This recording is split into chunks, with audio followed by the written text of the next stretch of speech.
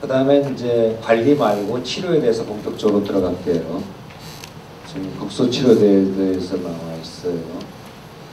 그래서 국소 치료제는 건선의 기본이라고 되어 있고 안전적이고 효과적이다. 다른 건선 치료 공합이 좋다. 어, 이렇게 써 있어요. 그래서 종류는 스테로이드, 그다음에 국소 타크로니머스제, 그다음에 비타민 D 도표제, 국소. 근데 음, 여러분들 중에도 이 스테로이드 연고라는 거가 무조건 나쁜 게 아니에요.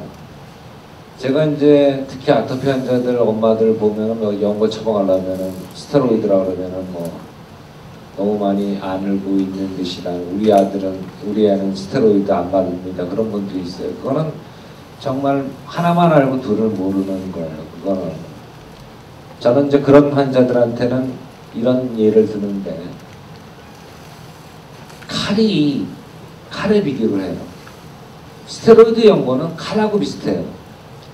칼에 한번 비웠다고 해서 칼을 안 쓰지 않아요. 칼을 누가 쓰느냐가 중요한 거죠. 그러니까 스테로이드 연고를 누가 쓰느냐? 그거를 일반의가 쓰느냐, 그냥 약국에서 그냥 막 사느냐, 피부과 전문의가 쓰느냐, 그거에 따라 차이가 있는 거예요. 칼이 조그만 애들, 어린 애들한테 가면 위험한데 가고, 강도나 이런 사람들한테는 흉기로 작용하지만 똑같은 칼이지만은 그 칼이 일식집 주방장 앞에 있으면 얼마나 유용하겠어요. 그 사람 칼 없으면 직업이 없는데 스테로이드 연고도 마찬가지. 이걸 얼만큼 잘 쓰느냐에 따라 문제가 되는 거지 그 자체가 문제가 되는 게 아니에요. 그래서 우리 애는 절대로 스테로이드 안 바릅니다. 국소 치료제 가지고 심하지 않은 경우는 얼마든지 먹약 안 쓰고도 독한 거 안 쓰고도 국소 가지고 돼요. 그러니까 그렇게 생각하시면 안 된다는 거예요. 제 말씀은. 그래서 스테로이드는 말씀드린 대로 이제 여러분들도 많이 이제 인터넷에서 많이 나와가지고 좀 안 좋은 걸 아는데 이건 얼마큼 잘 쓰느냐가 중요하다는 걸 나중에 설명해 드릴 거고 스테로이드의 부작용을 없애서 나온 것이 국소 면역 조절제 타크로리무스라든가 피메크로리무스 같은 거 이것은 원래 개발된 거는 아토피 피부염 치료로 애들 바르는 거로 개발된 거예요. 그 다음에 비타민 D 도포제 이건 비타민 D 제제는 피부과에서 유일하게 비타민 D 도포제를 쓰는 병은 건선밖에 없어요. 딴 병에는 안 써요. 이거는. 여러분 건선이 어, 태양 건선이 있을 때 여름이 좋아진다고 그랬잖아요. 또 건선 치료 중에서 광선 치료가 있어요. 광선을 쬐게 되면 비타민 D가 합성돼서 건선이 좋아져요.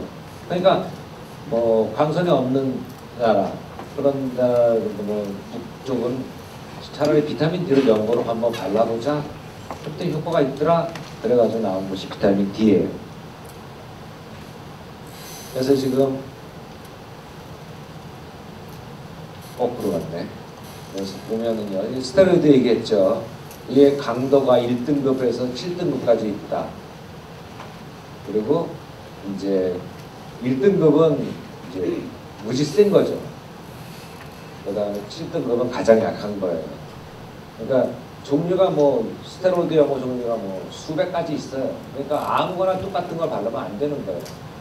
이게 애냐 어른이냐 또는 연세 드신 분이냐 젊은 성인하고 애, 달라요. 젊은 성인은 세거 써도 되지만 애하고 음, 연세 드신 분들은 센거 쓰면 안 돼. 피부가 얇기 때문에. 그 다음에 부위가 얼굴이냐 등어리냐 발바닥이냐 다 달라요 피부 두께가. 그거에 맞춰서 쓰면 되는 거예요. 그걸 맞춰서 안 쓰고 센 것만 써보니까 잘 낫더라 해가지고 센거 쓰니까 그게 부작용이 오는 거예요. 그래서 보면은 여기 써 있죠. 이렇게 센 거는 손발. 여기는 부작용 안 생기는데 손발은 두꺼워서. 그 다음에 약한 거는 얼굴, 목, 겨드랑이. 여기 부작용 센거 쓰면 부작용 생기는데 피부가 너무 약하니까. 그러니까 맞춰가지고 써야 돼요. 맞춰가지고. 또 한 가지 이제 스테로이드 연고의 강도가 또 중요하지만 강도 못지않게 중요한 것이 스테로이드 바르는 연고의 양이에요. 연고를 충분히 발랐으면 나을 수 있는데 연고를 안 바른 것 같아. 내가 환자한테 왜 영어 좀 많이 바르세요? 발랐대. 그게 의사가 생각하기에 총괄 양하고 환자가 생각하기에 바른 양하고가 다르기 때문에.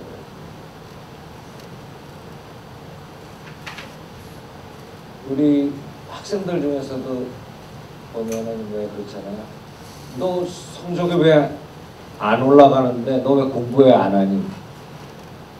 공부했대. 그러면 30분 공부하고 공부했다고 해요. 근데 진짜 지 친구들은 3시간, 4시간씩 공부하고 근데 혼자만 30분 공부하니까 공부 안 한 사람이랑 똑같이 공부. 그거 마찬가지로 양이 되게 중요하다는 거예요.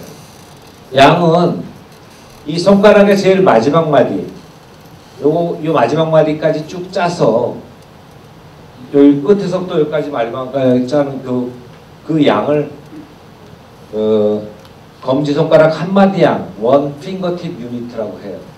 그러면 짜면 되게 여기 보면은 5mm 그 뚜껑이 되게 입구가 5mm 정도면은 이게 한 0.5g 나와요. 한 길이가 한 1cm쯤 되겠죠. 요거가 1cm쯤 되니까 이 면적이 손바닥 요 면적 이렇게 못 발라요. 그러니까 건설 환자 내가 아까 그 환자들 그 심한 환자들 보면은 이거의 몇 배가 되잖아요. 이거에 아까 그 처음 심한 환자 같은 경우에는 이거에 뭐 20배, 30 그러니까 이건 뭐 한번 바를 때 30g이 다 쓰는 20g 정도가 들어갈 수도 있는데 대개는 그렇게 양을 안 쓰세요. 그러니까 좋은 연구가 있는데도 안 나올 수가 있는 거예요. 그래서 참고적으로 여기 보면은 얼굴은 2.5 피거 유니트. 그러니까 얼굴하고 목이라고 했죠. 얼굴. 얼굴만 가리는데 이게 한 1 피거 유니트 나오고 목 가리는데 한 0.5 나오니까 2.5가 되는 거죠. 그다음에 몸통 앞면은 7 피거 유니트. 그 다음에 어뭐 한 다리 하나는 6, 발은 2 이렇게 해가지고 대충의 그 양이 결정되니까 어, 양이 참 중요하다는 거 이거를 여러분들이 알아야 돼요. 양을 조금 바르고 연고다. 연고를 많이 줬는데 다 연고 무지 많이 줬어요. 다 남았어요. 연고 양을 안 발라서 그래요.